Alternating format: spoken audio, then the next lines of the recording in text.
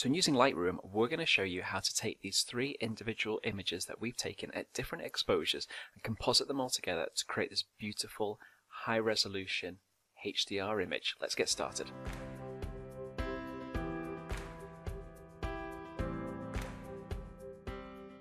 So working in Lightroom, all we're going to simply do is select all our three images by holding down the Shift key Um, and then selecting all of them. Then we're going to right click, go to Photo Merge, and then go to HDR. Now it's up to you as to whether you want to leave the auto settings on. I'd quite like to be able to have a little bit more manual control, but you can leave auto settings on for a good rendering. And then simply Lightroom is going to create a composited version of those three images.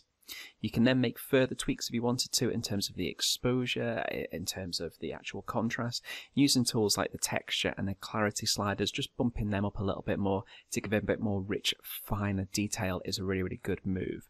But ultimately, it's up to you as to kind of how you play around with it, whether you want to leave Lightroom to do most of the work or whether you want to make some kind of more finite adjustments as we say a little bit further on. But hopefully you've enjoyed this really quick tutorial as to how to create HDR image in Lightroom.